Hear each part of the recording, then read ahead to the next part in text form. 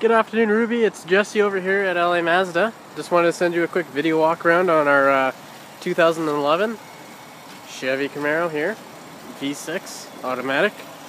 Very nice car. So I just wanted to go through some of the features and uh,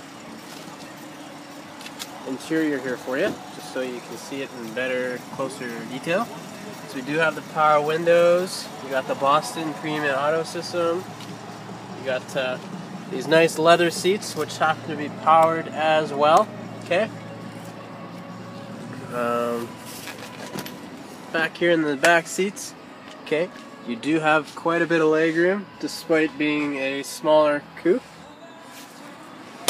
Okay. I just wanted to hop in here, go through some of the features real quick.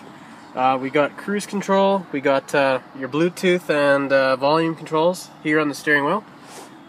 Okay, and then you got uh, Camaro written on the steering wheel. Just over 54,000 kilometers on this car. Okay, we've got our uh, entertainment system up here, so you can see you got your presets, your uh, um, your auxiliary and other controls there. Beneath that, you have your climate control. Okay, this car is also equipped with heated seats. Okay, and then beneath that, you have your gauges, so your oil temperature, your uh, voltage for your batteries, etc. And then finally your uh, automatic transmission.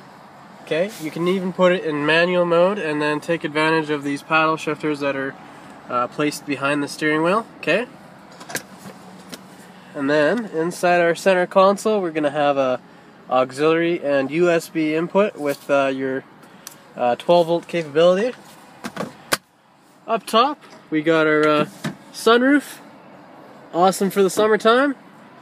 And then as well, we're gonna have the OnStar. Okay, so you got your coverage there. Um, let's take a little walk around the car here. Okay, got some nice mean rims on here. Uh, Firestone tires with uh, quite a bit of tread left on it. Okay. What else do we got here? We got uh, nice dual exhaust back here. You got sensors on the bumper. Okay, gonna help you back up and those tight parking spots. Other than that, car's uh, in great shape. Um, it's got 3M on the front. Right there, it's probably a little hard for you to see in the camera, but it is there.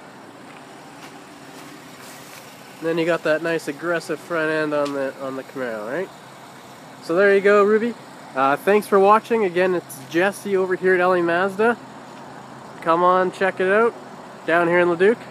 Talk to you soon.